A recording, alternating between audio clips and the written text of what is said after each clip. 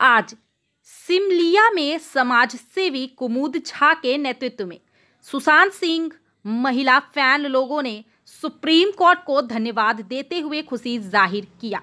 Supreme court ने अभिनेता सुशांत सिंह राजपूत मौत मामले में सीबीआई जाँच के आदेश दिया।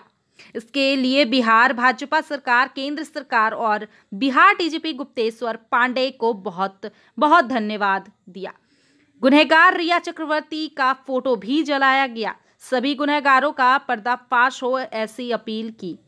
बताते, बात करते करते एक महिला फ़ैन ज़ोर ज़ोर से रोने लगी, कहने लगी, हमारे आन बान शान सुशांत सिंह को न्याय अब मिलकर रहेगा। कुमुद झा ने बताया कि हमें बहुत खुशी है कि अब न्याय होगा। महाराष्ट्र पुलिस जो देश की सबसे अच्छी पुलिस है।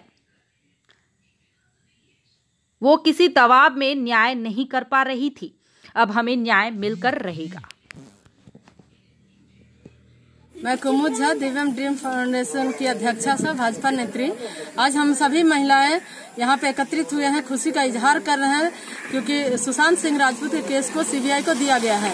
इसके लिए हम लोग सर्वोच्च सर्वोच्च न्यायालय और बिहार के डीजीपी गुप्तेश्वर पांडे जी को, बिहार पुलिस को, बिहार सरकार को धन्यवाद देना चाहते हैं, साथ ही साथ केंद्र सरकार को भी। अब हमें आशा ही नहीं, बल्कि पूर्ण विश्वास है कि सुशांत सिंह राजपूत के केस में न्याय होगा और न्याय होकर रहेगा।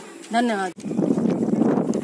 सुशांत सिंह राजपूत हमारे देश के आन बान और शान थे जो आज इस दुनिया में नहीं रहे और हम लोग उन, हम लोग आज बहुत दुख हम दुखित हैं उनको नहीं रहने से और हम चाहते हैं कि उनके साथ जो भी गलत हुआ है उनको न्याय मिले।